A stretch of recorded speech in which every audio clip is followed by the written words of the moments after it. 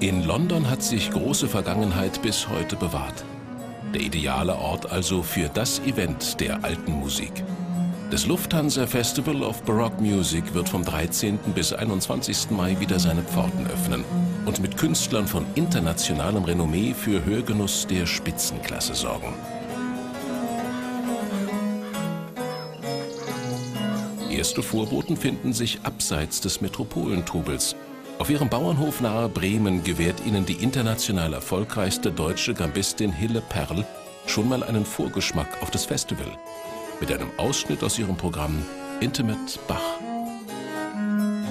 Das sind Sonaten, die zählen äh, zu dem Allerbesten, was äh, unser kulturelles Erbe uns vermitteln kann. Und ich glaube, dass die äh, was sehr Konzentrierendes und sehr Heilendes haben. 2011 schlägt das Festival unter dem Motto Hanseatic to Adriatic den Bogen von Nord- und Ostdeutschland über Polen, Böhmen und Österreich nach Venedig. Am 20. Mai treten Hille Perl, Patrick Ayrton und Lee Santana mit ihrem Bach-Programm in St. John's auf. Santana und Perl sind privat wie auch beruflich fast unzertrennlich.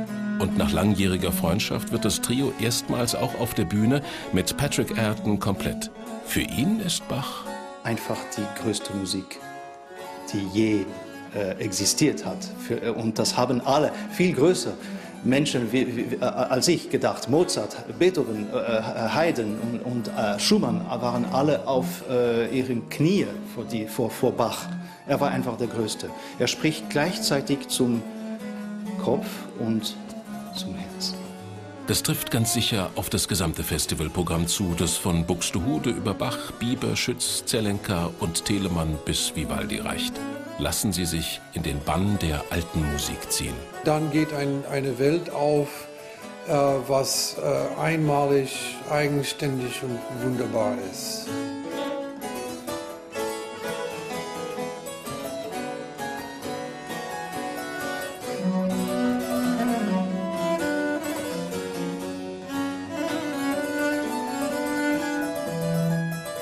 Hele Perl gilt als Spezialistin für historische Musik und wird die Reise nach London mit ihrer 300 Jahre alten Gambe antreten, die sie durch einen Zufall vererbt bekam. Die alten Instrumente, äh, die sind natürlich von anderen Musikern gespielt über die Jahrhunderte und ähm, es fühlt sich so an, als ob man tatsächlich, ähm, als ob ich etwas mache, aber das Instrument äh, fügt noch was dazu. Dieser Künstlerin jedenfalls ist nichts mehr hinzuzufügen.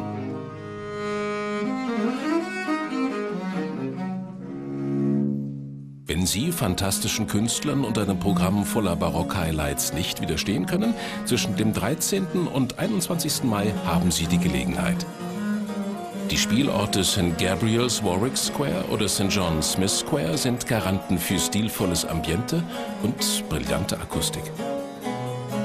Oder Sie reihen sich ein am 19. Mai für das Konzert mit dem Westminster Abbey Choir, um das gravitätische Biber-Requiem in der imposanten Kulisse der Krönungskirche englischer Könige zu genießen.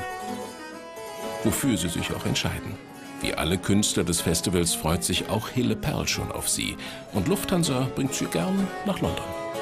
Die Atmosphäre ist fantastisch. Also das Publikum ist ein sehr gebildetes Publikum, äh, ähm, was ganz offensichtlich diese Art von Musik auch sehr genießt. Es ist ein großes Privileg, in diesem Festival spielen zu dürfen.